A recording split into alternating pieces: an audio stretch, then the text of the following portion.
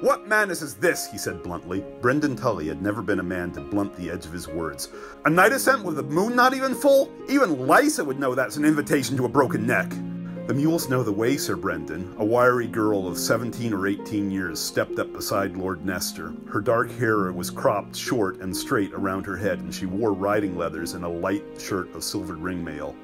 She bowed to Catelyn more gracefully than her lord. I promise you, my lady, no harm will come to you. It would be my honor to take you up. I've made the dark climb a hundred times. Mychel says my father must have been a goat. She sounded so cocky that Catelyn had to smile. Do you have a name, child? Mya Stone, if it please you, my lady, the girl said.